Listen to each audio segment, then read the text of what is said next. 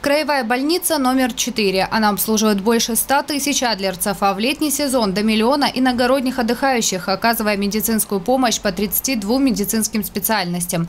На протяжении 14 лет этой больницей руководит заслуженный врач России, заслуженный работник здравоохранения Кубани, кандидат медицинских наук, практикующий врач-кардиолог Константин Афлиди.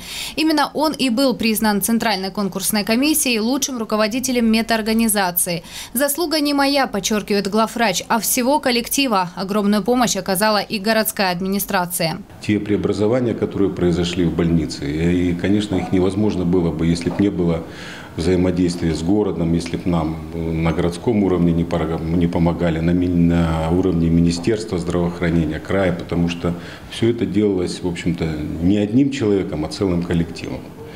Поэтому я считаю, что это заслуги в целом всего нашего города. Как раз в период подготовки к Олимпийским играм в сентябре 2013-го был построен хирургический комплекс. Появилось самое современное диагностическое и лечебное оборудование. Привлечены высококвалифицированные специалисты.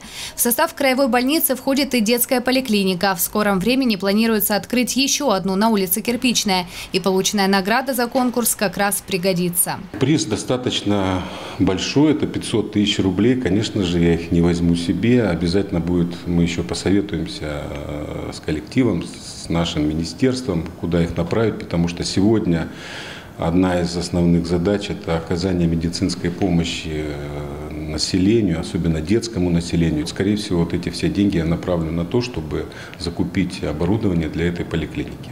На вызов 10-й бригаде 10, доктор Хачатурян, пожалуйста, на вызов 10.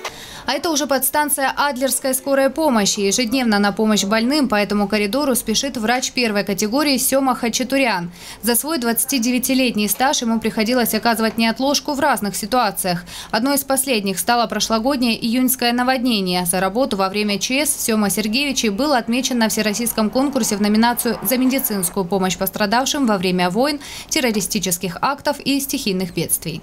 Мы даже нарушали инструкции, когда э, обслуживали пациентов, помощь оказывали, потому что вот кто-то в лодках по грудь в воде и так далее. То есть как МЧСники, в роли МЧСников выступали.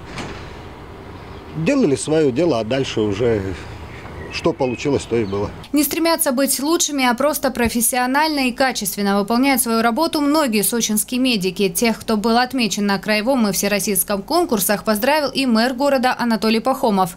Грамоты и благодарственные письма от Министерства здравоохранения Краснодарского края врачи получили в канун профессионального праздника – Дня медицинского работника.